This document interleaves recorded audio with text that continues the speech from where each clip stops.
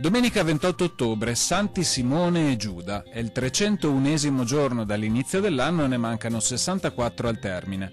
Il sole sorge alle 6.45 e tramonta alle 17.07 minuti. La luna si leva alle 20.08 minuti e tramonta alle 10.38.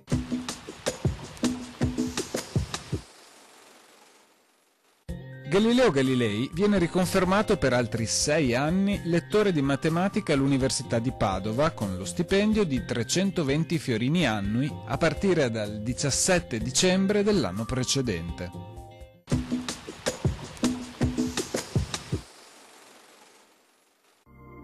Le previsioni per domani. Tempo instabile e perturbato con cielo generalmente molto nuvoloso o coperto, salvo possibili locali schiarite.